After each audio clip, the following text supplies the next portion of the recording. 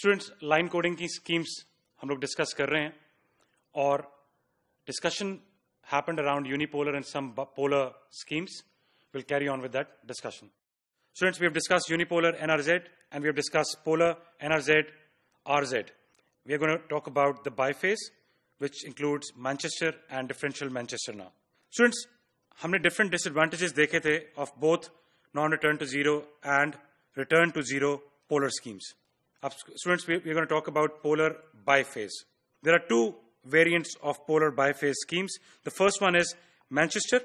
Students, Manchester scheme essentially combines the return to zero and non-return to zero level schemes. Similarly, our differential Manchester combines return to zero and non-return to zero invert schemes. Students, in the first case, which is the case of Manchester coding, you can see that the duration of the bit is divided into two halves this time. The voltage remains at one level during the first half and it moves to the other level in the second half. So, in the first half, starting from the positive voltage, for a zero, we start from positive, make a transition to the negative voltage directly, and finish here. Now the next bit is 1. We start from the negative voltage, make our transition to the positive voltage in the middle of the bit, and finish at the end of the bit. Next bit again is a 0. We start, make a transition, finish here. The next bit is 0 again, so we cannot start from the negative voltage. We make a transition all the way to the positive one and start here. And then the next bit is 1. We carry on. The next bit is 1 again, so we come back to the negative voltage and we carry on. Students, before we discuss the advantages and disadvantages of these two, the biphase uh, techniques, let's discuss differential Manchester as well.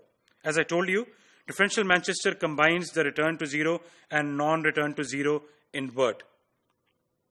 So, in this particular case, this makes a transition, the scheme makes a transition in the middle of the bit, as you can see here. But it also follows the NRZI principle, which means that there is no inversion if the next bit is 1, and there is an inversion if the next bit is 0. So students, in the case of 0, we start from a positive voltage level, we start from a negative voltage level, make a transition in the middle, and then finish here.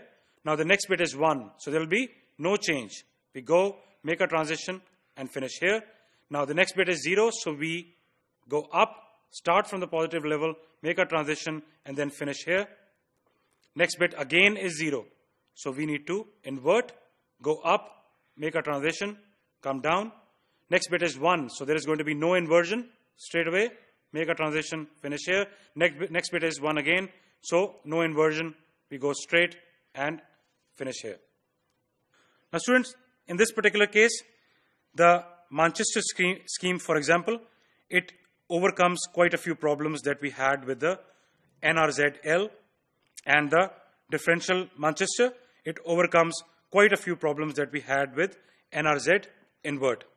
Firstly, the, the major problem that we had of DC component, that DC component problem does not exist in this particular case because each bit has a positive and a negative voltage level.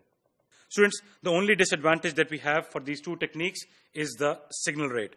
And the reason signal rate is a problem is because the signal rate for these two, Manchester and both differential Manchester, it is actually double that for the NRZ schemes.